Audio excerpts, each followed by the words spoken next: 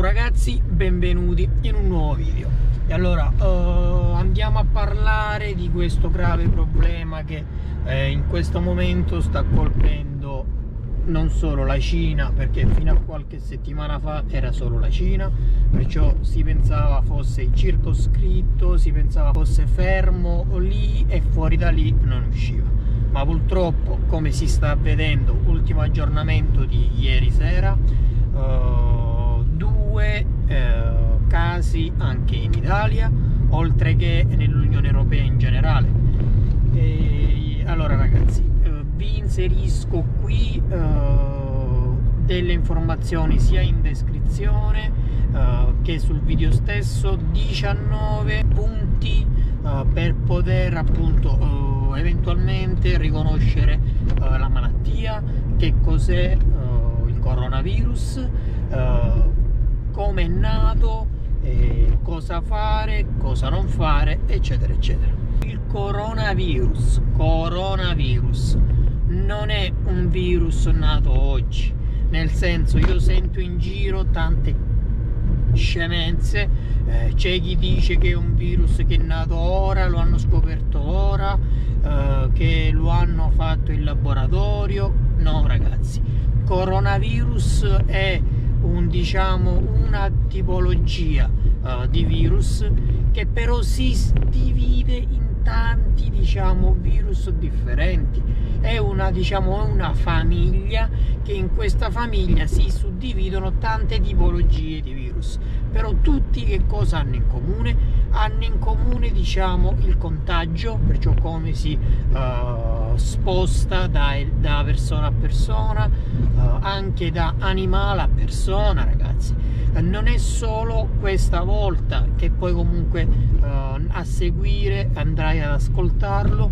Non è la prima volta che succede che viene l'uomo contagiato da un animale anche nel 2012 era stato uh, era stata diciamo denunciata una cosa simile eh, ma non solo in Cina ragazzi anche in altre parti del mondo anche i dromedari stessi hanno diciamo uh, contagiato gli uomini con una specie di coronavirus. Allora ragazzi vi lascio la registrazione mi raccomando ascoltatela tutta. È molto importante e alla fine del video ragazzi vi inserirò uh, o meglio oh, vi parlerò di una cosa molto importante al mio avviso. Perché? Eh, perché eh, io sono un imprenditore ho lavorato per anni e anni e anni con la Cina. Ovviamente non ci sono mai stato lavorando sempre diciamo a distanza conosco tantissimi cinesi, ho avuto modo di fare varie collaborazioni, siamo rimasti con moltissimi buoni rapporti, siamo ancora oggi in buoni rapporti per vari diciamo oh, lavori, collaborazioni, cooperazioni uh, che ho. Detto questo vi posso dire una cosa ragazzi, che ieri sera mi sono sentito con un amico uh, cinese questo, questa persona abita a Shenzhen eh, che non è vicino attenzione al dove diciamo è nato questo nuovo ceppo cioè questo nuovo virus della uh, famiglia del coronavirus. Non è vicino ma neanche lontano. Comunque è per dire che uh, questo virus si è trasmesso si è spostato uh, da dove è nato a Shenzhen e anche nelle città confinanti. E le parole ragazzi che mi ha detto mi hanno colpito tantissimo perché chi meglio di lui, chi meglio di loro che vivono lì eh, possono saperci dire la realtà dei fatti. I DG ragazzi mh, mm, evitano di uh, dire la verità perché? Eh, perché si andrebbe a creare scompiglio, si andrebbe a creare eh, una sorta di paura che ovviamente io non voglio far spaventare nessuno, io non voglio far eh, niente di, di, di, ecco, di drammatico, voglio però portarvi la realtà, la verità. Questa verità non la dico io, ma la dice un abitante cinese che vive a Shenzhen, che è diciamo la capitale della tecnologia, del commercio. E chi meglio di loro. Ma non solo lui, attenzione, ho avuto modo di parlare con tanti altri, però lui è stato quello che diciamo abbiamo comunicato di più, abbiamo parlato di più, oh, ci siamo ecco, fermati più, per più tempo a parlare, a discutere.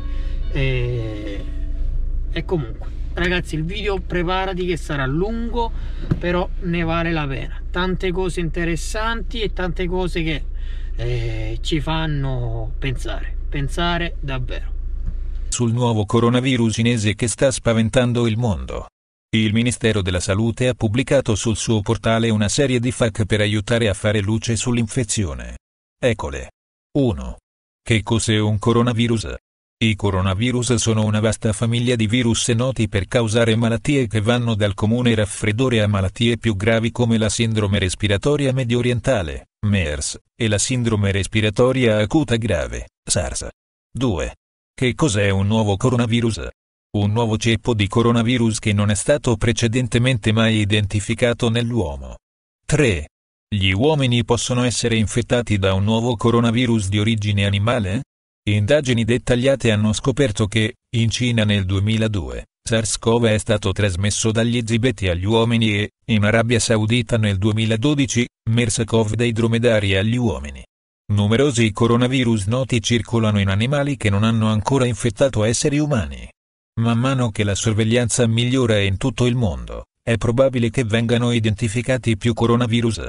4. Quali sono i sintomi di una persona infetta da un coronavirus? Dipende dal virus, ma i sintomi più comuni includono febbre, tosse, difficoltà respiratorie.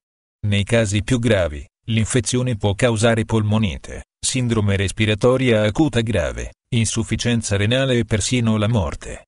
5. I coronavirus possono essere trasmessi da persona a persona? Sì, alcuni coronavirus possono essere trasmessi da persona a persona, di solito dopo un contatto stretto con un paziente infetto, ad esempio tra familiari o in ambiente sanitario. 6. Esiste un vaccino per un nuovo coronavirus? No, essendo una malattia nuova, ancora non esiste un vaccino e per realizzarne uno i tempi possono essere anche relativamente lunghi. 7. Esiste un trattamento per un nuovo coronavirus? Non esiste un trattamento specifico per la malattia causata da un nuovo coronavirus. Il trattamento deve essere basato sui sintomi del paziente.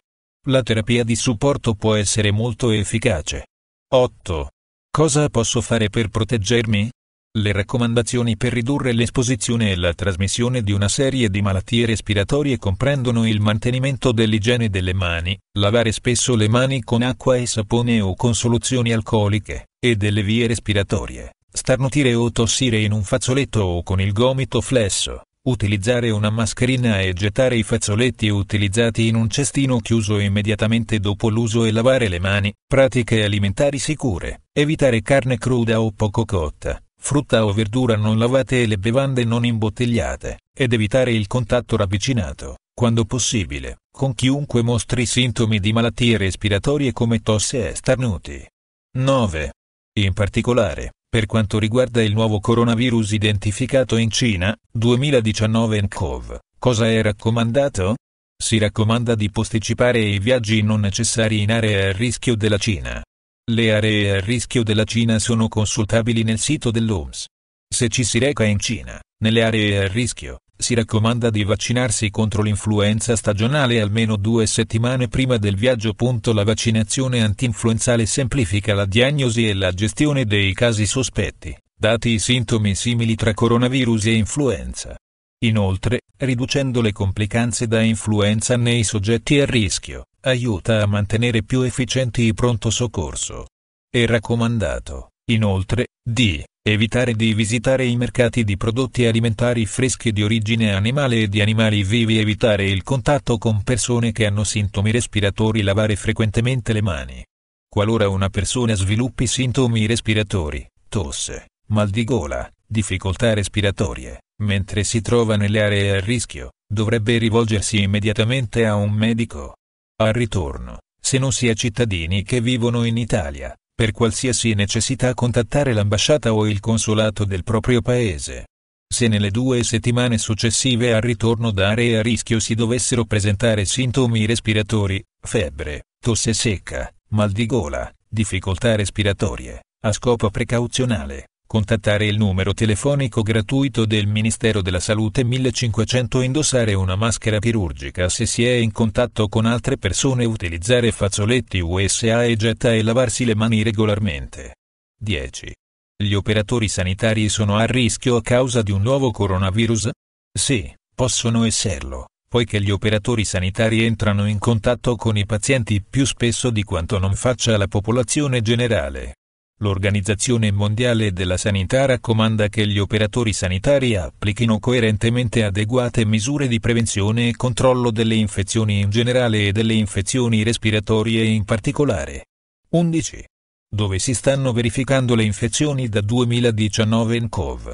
Un cluster di casi di polmonite ad eziologia ignota nella città di Wuhan, nella provincia cinese di Hubei è stato segnalato, il 31 dicembre 2019, dalla Commissione Sanitaria Municipale di Wuhan, Cina, all'OMS.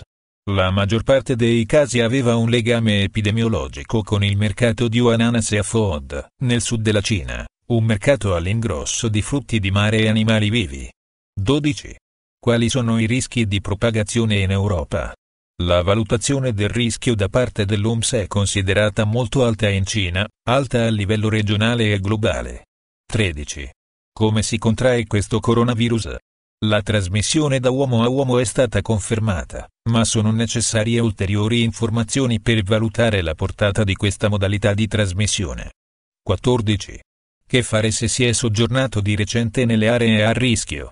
Se nelle due settimane successive al ritorno da aree a rischio si dovessero presentare sintomi respiratori, febbre, tosse secca, mal di gola, difficoltà respiratorie, a scopo precauzionale, contattare il numero telefonico gratuito del Ministero della Salute 1500, indossare una maschera chirurgica se si è in contatto con altre persone, Utilizzare fazzoletti USA e getta e lavarsi le mani regolarmente. 15.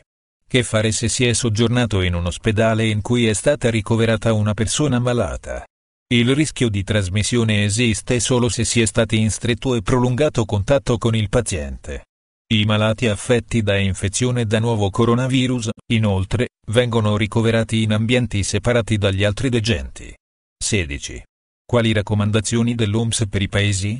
L'OMS incoraggia tutti i paesi a rafforzare la sorveglianza delle infezioni respiratorie acute acute, SARI, a rivedere attentamente eventuali casi insoliti di SARI o di polmonite e a comunicare all'OMS qualsiasi caso sospetto o confermato di infezione da nuovo coronavirus. I paesi sono incoraggiati a continuare a rafforzare la loro preparazione alle emergenze sanitarie in linea con il Regolamento Sanitario Internazionale 2005. 17. Quale dispositivo di monitoraggio è stato introdotto per questo virus a livello nazionale? In Italia è attiva una rete di sorveglianza delle gravi infezioni respiratorie acute, SARI, e delle sindromi da distress respiratorio acuto, ARDS. La situazione è costantemente monitorata dal Ministero, che è in continuo contatto con l'OMS e l'ECDOC, e pubblica tempestivamente ogni nuovo aggiornamento sul suo portale. 18. Quale misura sanitaria specifica per i viaggiatori è stata avviata nel nostro paese? Tutti i voli da Wuhan sono stati cancellati. Le celebrazioni per il Capodanno cinese a fine gennaio aumenteranno il volume dei viaggi da verso la Cina e all'interno della Cina, aumentando così la probabilità di arrivo di casi nell'UE. Su tutti i voli provenienti dalla Cina vengono effettuati controlli all'arrivo, che comprendono la misurazione della temperatura e la raccolta di informazioni dai cittadini. Le indagini sull'epidemia sono in corso e poiché si tratta di una situazione emergente e in rapida evoluzione, le informazioni verranno aggiornate ogni volta che vi siano informazioni rilevanti. È stato predisposto materiale informativo da affiggere negli aeroporti per informare i viaggiatori internazionali. 19. Dove posso trovare altre informazioni sul nuovo coronavirus? Il Ministero della Salute ha realizzato un sito dedicato www.salute.gov.it barra nuovo coronavirus allora hai eh, visto le 19 regole. Mi raccomando tenile sempre in mente eh, occhio perché non si scherza.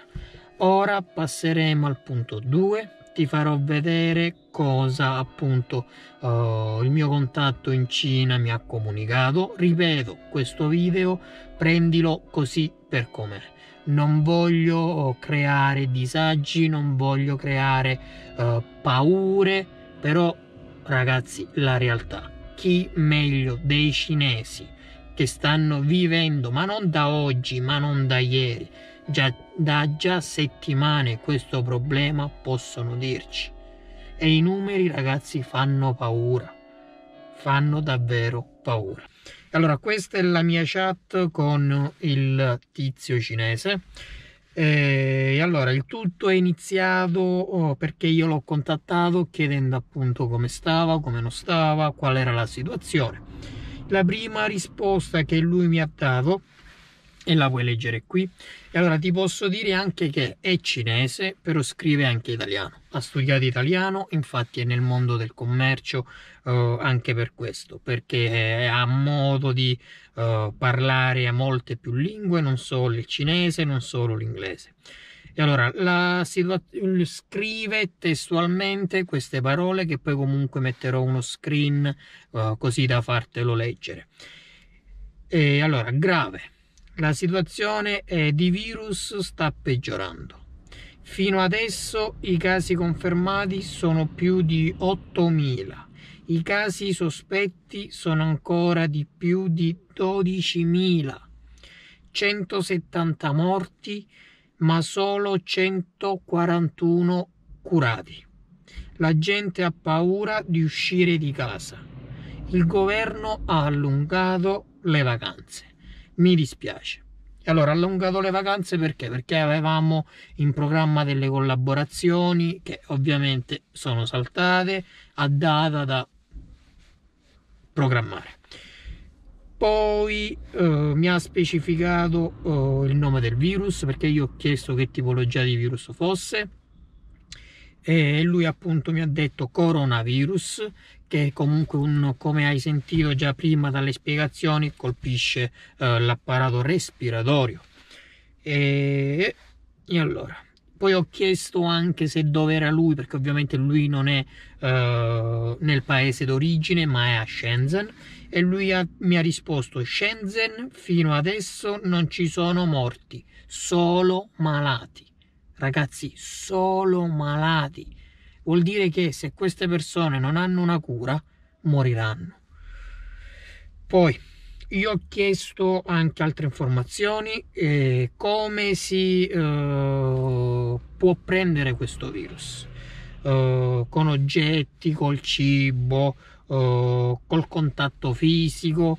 No col cibo mi risponde lui viene trasmesso principalmente da goccioline umane e causa malattie respiratorie. Ho chiesto altre informazioni sull'origine di questo virus e lui mi ha scritto questo. L'origine dell'incidente è Wuhan, la capitale della provincia di Hubei della Cina, una mega città con una popolazione di 12 milioni di abitanti. Dopo l'epidemia, il governo cinese ha rapidamente adottato una serie di misure per prevenire la diffusione dell'epidemia. Ad esempio, ha annunciato la chiusura della città e prevede di costruire due nuovi ospedali a Wuhan entro 15 giorni. Ragazzi, avete capito bene? in 15 giorni due mega ospedali dedicati solo ed esclusivamente alla cura, al trattamento dei pazienti infetti. Credo che l'epidemia, credo che l'epidemia presto sarà sotto controllo. Poi ovviamente mi ha messo anche in alcuni messaggi la faccina triste, uh, ragazzi ma è normale, stiamo attenti, prestiamo massima attenzione, eh, non scherziamo con queste cose. Eh, per questo video è tutto, spero ti sia stato d'aiuto, ciao e al prossimo video.